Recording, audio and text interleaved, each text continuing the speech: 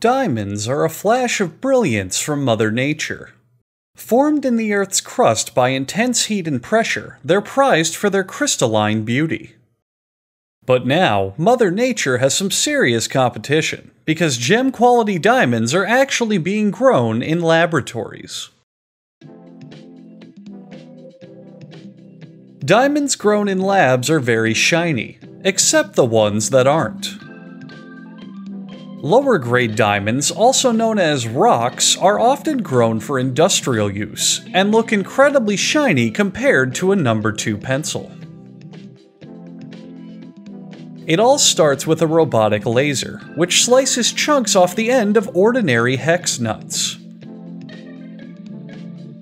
The intense heat and slicing power creates small diamond wafers.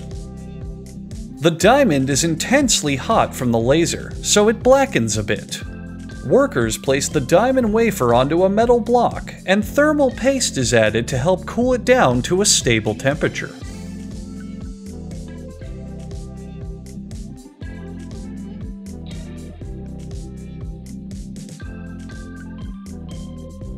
After brushing the thermal paste on using proper amounts and application, the block is screwed onto a threaded arm and brought into a game of industrial hungry hungry hippos.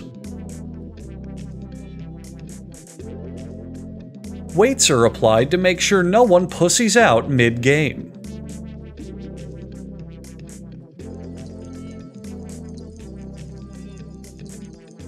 The winner of the game is polished into being crystal clear, and is now ready for a steampunk wannabe to create the world's most expensive waffle.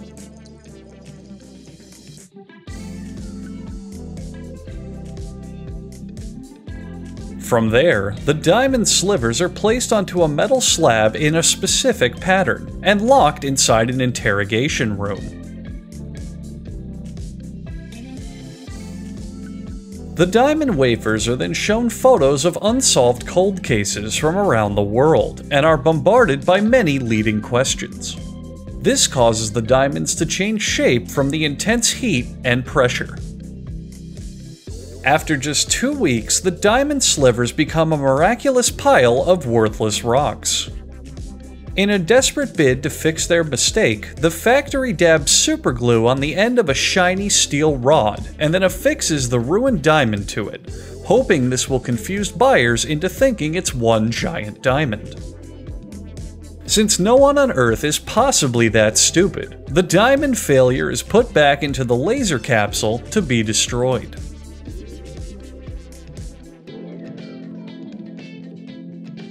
Through sheer dumb luck, the laser destruction process exposes a near flawless gem hidden beneath.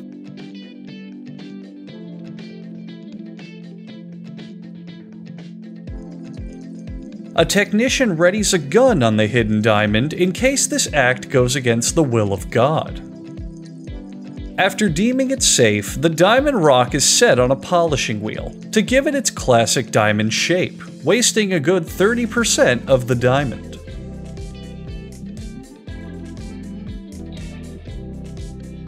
And after just a couple weeks, a man made diamond is ready to be sold to people who, like Neanderthals, think a very shiny rock is actually worth something.